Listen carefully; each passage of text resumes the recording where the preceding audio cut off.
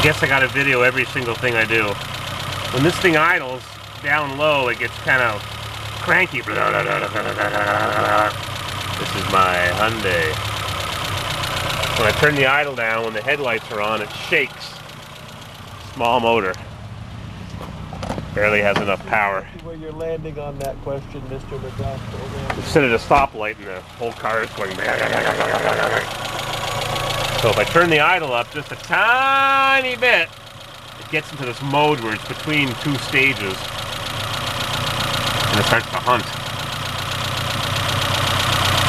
I'm going to turn the idle up less than a quarter of a turn.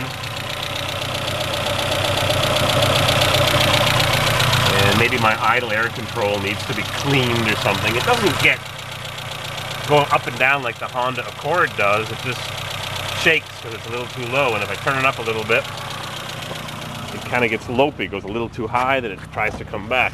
Turn the headlights off.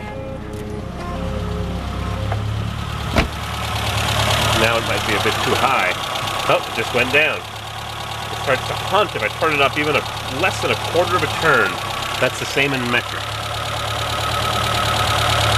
Hear that? Going up and down a little bit. My Tenant's black Hyundai, still the same thing. It only starts if you spray gas in the intake and when it's not that cold outside, and right now it's raining snow or snowing rain. Raining slush. Nice. Anyhow, see, it goes up and down. Annoying. Oh, I have some block seal, that's what it's called. Block seal that I bought for an S10 that I sold 10 years ago. I just bought it at a dealer auction.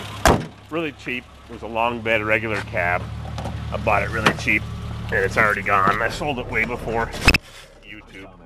So I got some block seal I wanted to show you. 160,000 miles.